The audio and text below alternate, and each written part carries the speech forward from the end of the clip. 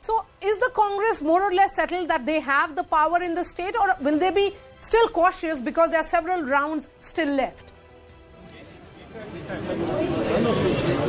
So, Maria, I could not hear the question, but as of now, Congress is fully confident because they people are saying, in fact, Vikramaditya is saying that, you know, all the observers are now coming to Himachal Pradesh and in fact, they are forming the government here. Also, a question was asked, आपको डर नहीं है खरीद फरोख्त का? So, he, he replied that no, because our central observers are coming and as far as the majority is concerned, so they are somewhere moving towards the magic number. 35 is the magic number that is uh, required as of now and Congress is leading on 37 seats as of now.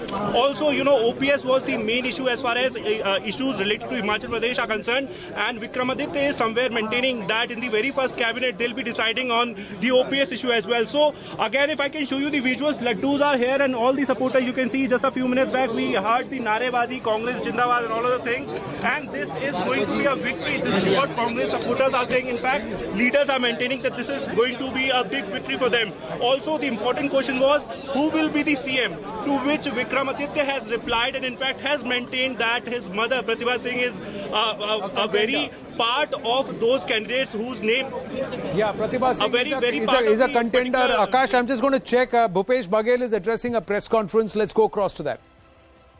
शासकीय योजनाओं के प्रति लोगों में उत्साह भी है और उसका लाभ लोग ले रहे हैं धान खरीदी भी लगातार चल रहा है और निर्बाध गति से चल रहा है कहीं कोई शिकायत बारदाने की तौलाई की या धान उठाव की या पेमेंट की कोई शिकायत नहीं है। सब बढ़िया से संचालित हो रहा है। अ, मैं समझता हूँ प्रदेश में इस इस साल धान खरीदी का वैसे तो हर साल रिकॉर्ड तोड़ रहे हैं इस साल भी रिकॉर्ड टूटेगा।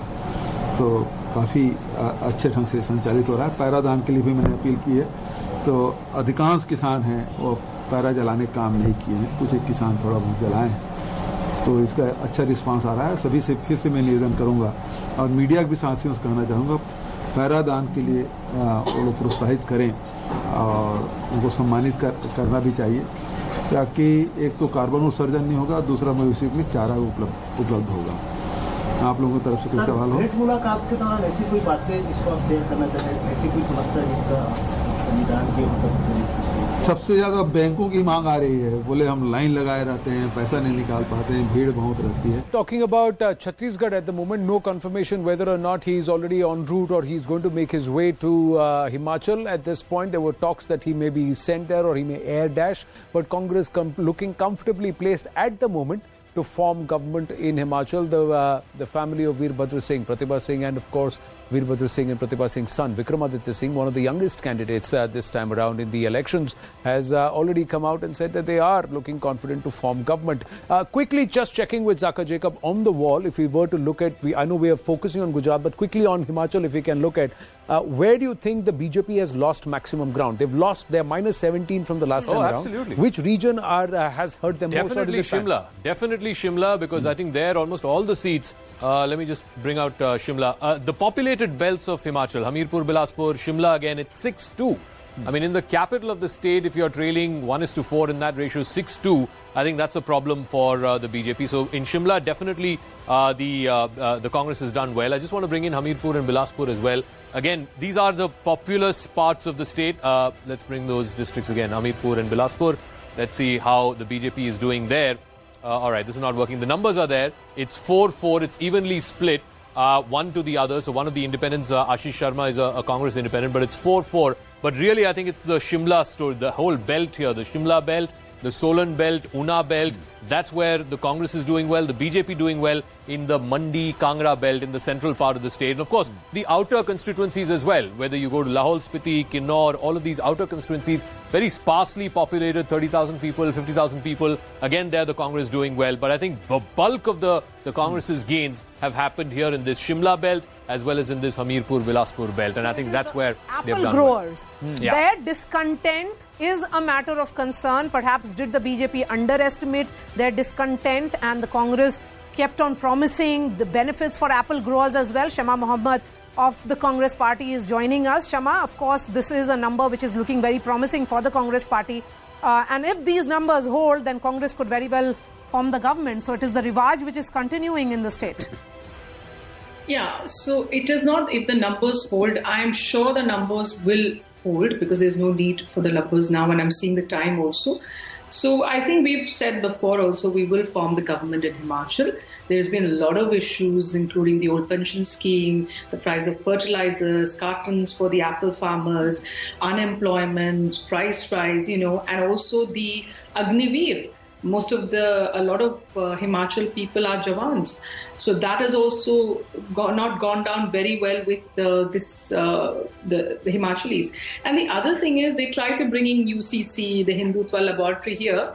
And they have to understand that that doesn't work in Himachal Pradesh like it works in Gujarat. The Gujarat, of course, you can play the communal divide, but this thing does not. Shama Mohammed, interrupting in you. We've got an update coming in from Gujarat. We'll come back to you, ma'am, in just a bit. Harsh Sanghavi has won. He's won from the seat of Majura. That's the big key race alert that's just coming through. Harsh Sanghavi has won comfortably from Gujarat, uh, in, the, in Gujarat, from the Surat district in Majura. That's the area. Raghavji Patel uh, is also winning from Jamnagar Rural. We'll try and go across to Greha at the live results hub for a quick update on both Gujarat and Himachal in just a bit. But convincing wins, and it was a no-brainer Oh, as far as Harsh. Sanghavi. Let's fact, come back to Surat, Gujarat now. All yeah. nine Zaka. seats. You were asking about Surat. All nine seats the BJP is uh, leading in, including in Varachha, where Alpesh Kathiria of the Aam Aadmi Party is trailing. In Katargam, Gopal Italia of the Aam Aadmi Party is trailing. So all nine seats are in Surat district being won by the BJP or the BJP is in lead, including in Majura, where the Home Minister of the state, uh, Harsh Sanghavi, is leading. If you look at all the cities, in Jamnagar, both the seats, Jamnagar North, Rivaba Jadeja, Jamnagar South, the BJP candidate, in all four Rajkot seats, including Rajkot West, from where Vijayabhai Rupani used to fight. There again, the BJP is leading. Surat, all nine seats, BJP leading. Vadodara, all five seats, BJP leading. Even in Ahmedabad, out of the 16 seats, Congress last time had four, BJP had 12. This time, BJP has 14, and the Congress has only two. I think two strands stand out for me. One, uh, it'll be interesting to see, particularly in the minority dominated seats uh, in walled city again. The Congress had four last time, right now only two. Also, the tribal dominated seats, both in South Gujarat as well as in North Gujarat, where the Congress did relatively well last time around. The Aam Aadmi Party has eaten into it. In one seat, the AAP is leading. In the other seats, the BJP is leading. So, both in tribal dominated seats as well as uh, in the minority dominated seats, there seems to be a new claimant to the Congress vote. And that is what the Congress is being hurt by. And of course, Saurashtra. We've been talking about Saurashtra. Right. Maximum number of seats, 58 seats. Uh, out of the five seats, AAP is leading in four are in Saurashtra. So it is definitely hurting the Congress party in rural pockets of Saurashtra. I think that is something that they so need the to really. the BJP's overall tally going up significantly. So Yep. the BJP's growth is coming at the cost of other parties, but also the Congress has been decimated. The Aam Aadmi Party is trying to occupy that space of opposition, but Congress is in double digit. Aam Aadmi Party is in No, sting- and single not digit. just that. See, 99 last time around, Yes. 57 seats the BJP is pinched from the Congress. So Yeah. has the Cong- BJP retained its 99 while taking 57 out of the 58 Yeah, away from yeah. the Congress party? Uh, so, so purely pinching it away, taking it away from the Congress straight up. You you know, we, we talked about the Patidar seats, even the OBC dominated seats, and they are much larger. 75 out of 182 are OBC dominated seats. Look at this 64. 64 to just 9. The Congress reduced to single digits in OBC dominated seats. You go back and check in 2017, that figure was 34. If a party comes down from 34 seats just to 9 seats, and BJP has got 39, almost 40 of that, then I think there is a problem. There's a problem for the Congress party. The OBC vote has shrunk for them, the tribal vote has shrunk for them, and of course the minority vote has shrunk for them. So significant sections of, of vote bank, as, as it were, have shrunk for the Congress party. You know, And they seem to have done connect an- with Griha because Yeah. the update that is coming from Jairam Thakur's office to me is that the BJP is leading in six seats after the 27 leads that So we are over showing. and above. So, so Uh, over so- and above so these that six. means they should get to about 33. So that's that- what they are